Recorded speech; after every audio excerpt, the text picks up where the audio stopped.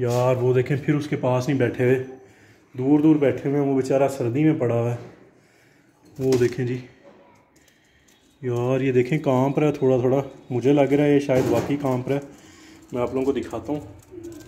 ये देखें कहाँ पर है ना? वालेकुम दोस्तों, उम्मीद करता हूँ आप सब लोग खैरियत से होंगे। Welcome back to another vlog दोस्तों, जल्दी से चैनल को सब्सक्राइब कर दें ये देखें जी हमारी बकरियाँ धूप के मज़े ले रही हैं साथ साथ खाना खा रही हैं। और कल ना मैंने एक बड़ी मज़े की चीज़ की थी, वो ये कि हमारी जो लकी की फ़ीमेल थी ना, जो इस पेड़ में लगी हुई थी, वो क्या कर रही थी कि वो पेटी के ऊपर बैठ रही थी। ये जो टोकरी हमने रखी है ना, इसके ऊपर बैठ रही थी।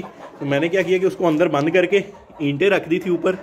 ये देखें जी, आप लोगों को दिखाता हूँ। ये देखें, ये हम ईंटें निकाल देते हैं ताकि वो बाहर आए और इसको होप सो आदत पड़ गई होगी।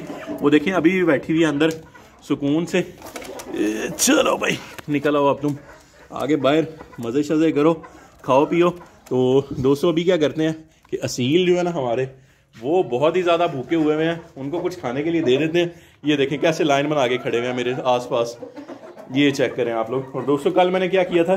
चेक करने के लिए ना, तारा की बिल के आगे मैंने रख दिया था शॉपर, और वो देखें, उसने दबाया हुआ अंदर ही बोतल लेके गई हुई है। ये देखें, ये बोतल बाहर पड़ी हुई थी। आगे से इसने दबा दिया इसका मतलब है जी, बच्चे कंफर्म आगे में हैं तारा के, और तारा खुद भी ना, बड़ी पतली सी लग रही है। ये देखें ये देखें। पहले कैसी मोटी लगती थी, अब कितनी श्रिंक हुई हुई है इसका साइज़ तो दोस्तों, अभी जल्दी से असील को हम डाल लेते हैं, और आज हमने क्या करना है कि हमारा जो एक पिजन है ना, बेचारा ये वाला ये सिल्वर टेल का। माशाल्लाह इसकी टेल जो है वो काफ़ी हद तक बाहर आ गई है।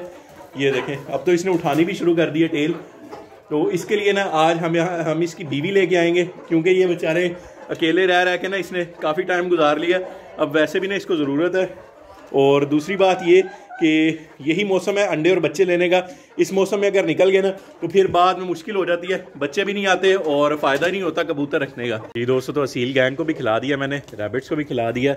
ये जो हमारी मुर्गी टोकरे के अंदर बंद होती है ना, इसको भी खिला दिया। अब सिर्फ़ हमारी पिजन आर्मी रह गई है। इनको मैं तब खिलाऊँगा जब हम नई बीवी ले आएँगे। उसके लिए किधर गया? वो पीछे छुप के बैठा हुआ है। वो देखें दोस्तों, जो ग्रे टेल वाला आपको नज़र आ रहा है ना, इसकी यार बेगम आ जाएगी फाइनली इन बहुत ज़्यादा उम्मीद है मुझे, क्योंकि बाज़ार में ना काफ़ी ज़्यादा लकी के पिजन्स आए हुए हैं तो हम मार्केट से ले आते हैं।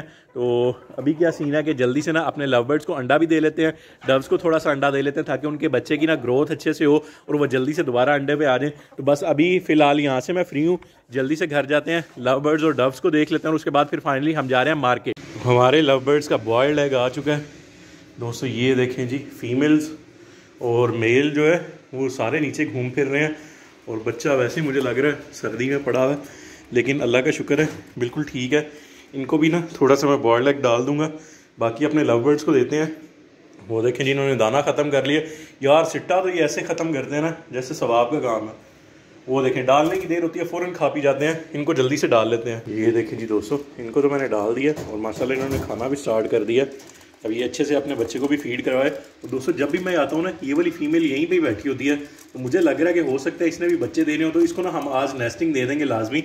और ये देखे जी, हमारा क्यूटू सा। माशाल्लाह, कितना प्यारा लग रहा है यार। काफ़ी ज़्यादा इसके पर निकलने लग गए हैं। इंशाल्लाह कुछ दिन में ना ये फुल कवर हो जाएगा और फिर ये भी नीचे इनके साथ घुमा फिरा करेगा। ये देखिए जी दोस्तों, इनको तो मैंने डाल दिया और माशाल्लाह इन्होंने खाना भी स्टार्ट कर दिया। अब ये अच्छे से अपने बच्चे को भी फ़ीड करवाए। और दोस्तों, जब भी मैं आता हूँ ना, ये वाली फीमेल यहीं पे बैठी होती है। तो मुझे लग रहा है कि हो सकता है इसने भी बच्चे देने हो तो इसको ना हम आज नेस्टिंग दे देंगे लाजमी। और ये देखे जी हमारा क्यूटू सा। माशाल्लाह, कितना प्यारा लग रहा है यार। काफ़ी ज़्यादा इसके पार निकलने लग गए हैं। इंशाल्लाह कुछ दिन में ना ये फुल कवर हो जाएगा, और फिर ये भी नीचे इनके साथ घुमा फिरा करेगा।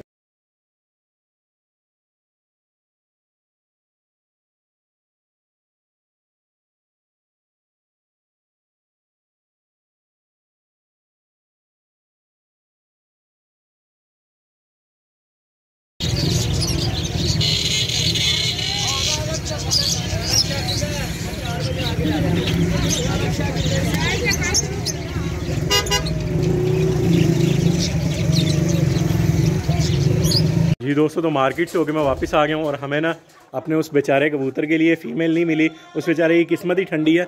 सुबह जब मैं देख के आया हूँ तो इतनी ज़्यादा पिजन्स पड़े हुए थे। मुझे लग रहा था कि कोई एक फ़ीमेल मिल जाएगी, लेकिन अब जब मैं गया हूँ तो वो कह रहा है कि सारे ही सेल हो चुके हैं और सिर्फ़ एक पेयर बचा है। वो मैं फ़ीमेल नहीं दे सकता क्योंकि वो बॉन्डेड पेयर है, आपस में लगा हुआ पेयर है। दोस्तों, ये तो हमें बोलने भी नहीं देगी। इसको पहले निकाल लेते हैं। शोर मचाया हुआ इसने। चल भाई, निकल। आ जा। शाबाश। चलो, जाओ। बस। तो दोस्तों भी क्या करते हैं कि बाकी के पिजन्स को भी ना दाना वगैरह डाल लेते हैं। इसी इंतज़ार में मैंने दाना नहीं डाला। चलो भाई, आ जाओ, खा लो भाई। ये तो दोनों उठ के आ गए। तुम लोग अंडों पे कौन बैठेगा? वो देखें दोस्तों, माशाल्लाह अंडे पड़े हुए हैं। बस जल्दी से अब इंतज़ार है कि बच्चे निकल आए और इनके अंडे ना। बाकी पिजन्स की नस्बत काफ़ी मतलब अच्छे साइज़ के हैं, बड़े साइज़ के हैं। तुम लोग भी आओ और खा लो। और अच्छे बच्चों की तरह खाना है। गिराना नहीं है अब। अच्छा आइए समझ। चलो, अच्छे बच्चों की तरह खाओ, शाबाश। ये देखिए क्या करने लग गया। ओ भाई बस।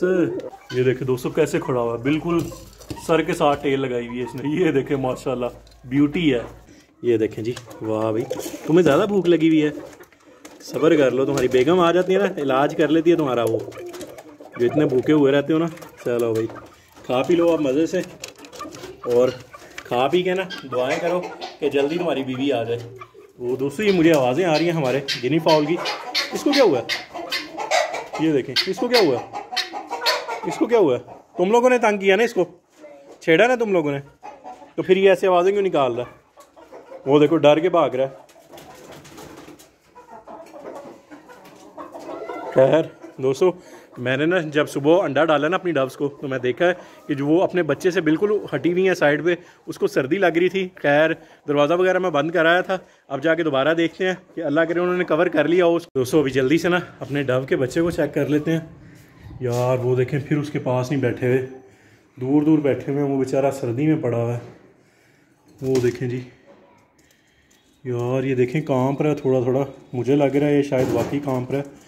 मैं आप लोगों को दिखाता हूँ। ये देखें। काँप पर है ना? ये देखें। यार पता नहीं इनको क्या हुआ है। हमारी डब के जो माँ बाप है ना, बच्चे के, वो बैठ ही रहे उसके ऊपर। थोड़ी सी उसको हीट मिले। और दोस्तों, ये जो फीमेल है ना, वो जो पीछे सर करके बैठी हुई है। ये काफ़ी देर से ना मतलब एक दो दिन से नेस्ट पे बैठना शुरू हो गई है। तो वो देखें, उसको मारा हुआ भी है, लेकिन वो नेस्ट से नहीं उठ रही। तो अभी मैं क्या करता हूँ कि थोड़ी सी नेस्टिंग ला के ना, वो भी डाल देते हैं हम। और इधर देखें लव बर्ड मुझे देखा इन्होंने कि मैं अंदर आ रहा हूँ और फ़ौरन अंदर घुस गया बॉक्स में। यार मैं ना तुम लोगों को एतबार नहीं कर रहा, तुम लोग ड्रामे बाज हो वैसे ही। तो जल्दी से हम चलते हैं नेस्टिंग ला के देते हैं थोड़ी सी। ये देखें दोस्तों नेस्टिंग तो इनकी मैंने बना दी है। ये मैं रखता हूँ इधर। चलो भाई, अब तुम लोग ना खुद ही सेट कर लेना। जैसे भी सेट करनी होगी। बना मैंने दी है तुम लोगों को। और यार थोड़ी सी शर्म कर लो। तुम लोग, दाना भी पड़ा हुआ है तुम लोगों के पास। खाओ और उस बच्चे बेचारे को खिलाओ। वो देखें कैसे काँप रहा है यार। पता नहीं अब ये क्या करती हैं, बैठती हैं या नहीं बैठती है, क्या करती हैं। खैर नेस्टिंग तो इनकी जो है वो बन गई है। दूसरे में भी अगर अंडे देने होंगे ना फीमेल ने तो वो बहुत ईजीली दे देगी। कोई किसी किस्म का मसला नहीं होगा उसे। ये देखें जी नेस्टिंग तो सेट हो गई है। अब अल्लाह करम करे कि ये ना अपने नेस्ट पे बैठना शुरू हो जाए। तो दोस्तों, यही आज की वीडियो थी। उम्मीद करता हूँ आप लोगों को वीडियो पसंद आई होगी। अपने चैनल को लाजमी सब्सक्राइब करना है। अपना बहुत ज़्यादा ख्याल रखना अल्लाह हाफिज़।